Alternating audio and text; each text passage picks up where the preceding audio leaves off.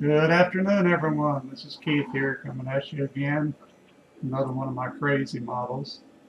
And this one is a uh, mounting plate that fits in an ACR 8-72 ammo box. Give you a little rundown of the nomenclature of this board. These right here are standoffs. There are enough standoffs perfectly spaced to accommodate any boards in the F-16 V2R or the F-16 V3 series. Uh, the standoffs, as you can see, I put supports on each one so they're pretty sturdy. They already have the holes, you know. They take number four sheet metal screws, half inch long.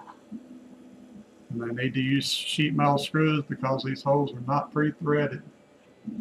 You have to actually cut the sheet metal screws will actually cut the threads into them.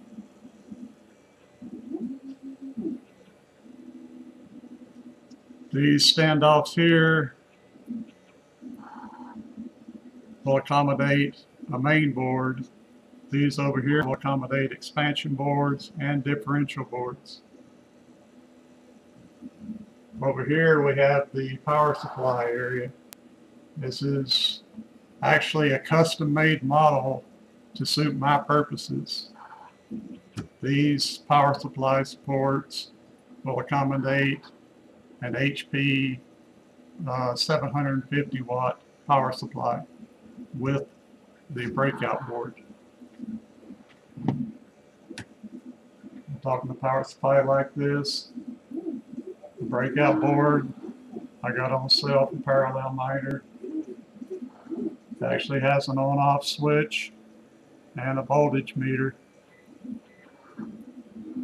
The only thing I'm, I'm concerned about is where you screw in your power cords. I'm hoping I can get high enough gauge power cords to work fine with these. I'm still waiting on my uh, wire to get here. I have it on order. Hmm. You can see these power supplies set right in here in opposing orientation.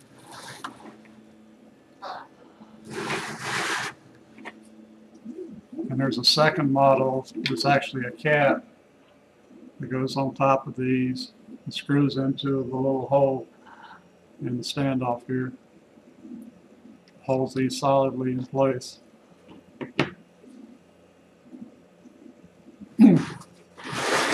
HP server power supplies, I'm really happy with those. Like I say, they're 750 watts apiece. That's a total of 1500 watts of power in this box. One power supply can handle a main board or an expansion board. So two power supplies will handle whatever board configuration you want to put in here.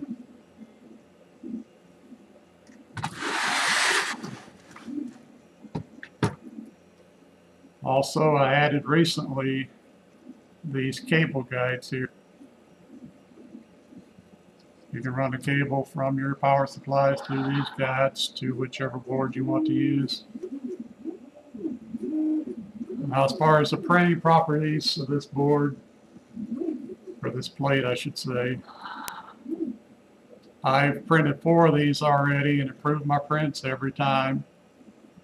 The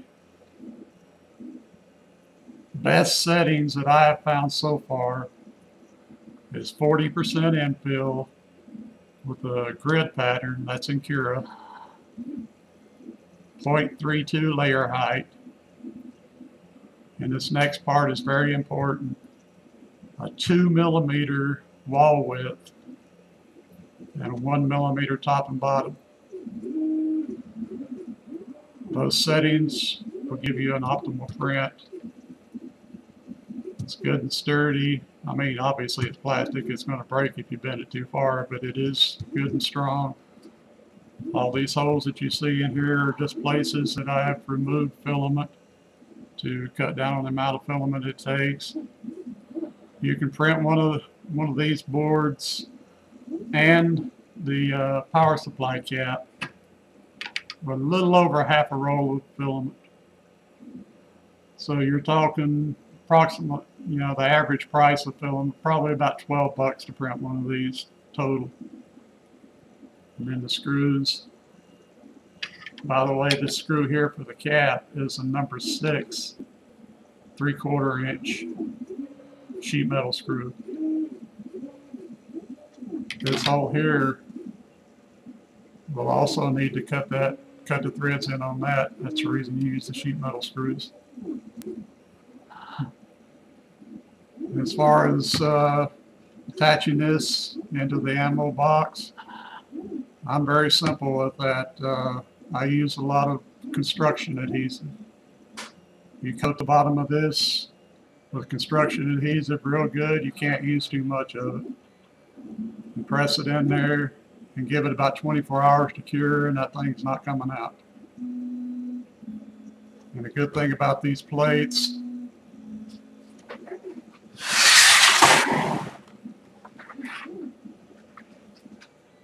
you can put them together, wire them all up with everything outside of the box so you have plenty of room, plenty of room to work with it, and then glue it into the box.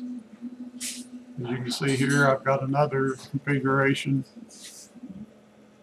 This is the uh, F16V3 series, main board, expansion board, differential board.